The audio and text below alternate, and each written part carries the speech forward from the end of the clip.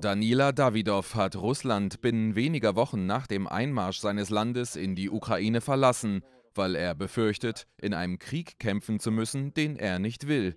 Der 22-Jährige verließ St. Petersburg und arbeitet jetzt in Kasachstan. Wir befürchteten, dass Putin eine Mobilmachung ausrufen und Jung und Alt zur Armee einberufen würde. Ich will dort auf keinen Fall kämpfen. Davidov gehört zu den jungen russischen Männern, die sich nach Ansicht von Anwälten und Menschenrechtsaktivisten der Wehrpflicht entziehen wollen.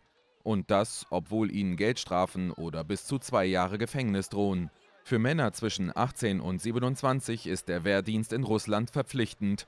Reuters sprach mit sieben Personen, die sich der Einberufung entziehen wollten. Zuerst habe ich mich vor der Militärkommission gedrückt, aber am Ende haben sie mich doch noch erwischt. Ich habe mich an Anwälte gewandt und mit ihrer Hilfe ist es mir gelungen, den Zeitpunkt der Einberufung auf unbestimmte Zeit zu verschieben.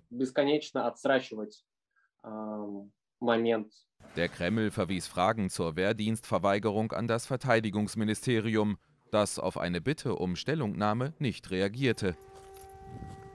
Der russische Präsident Wladimir Putin setzt in der Ukraine auf eine riesige Berufsarmee, die nach Ansicht des Westens aber erhebliche Verluste erlitten hat.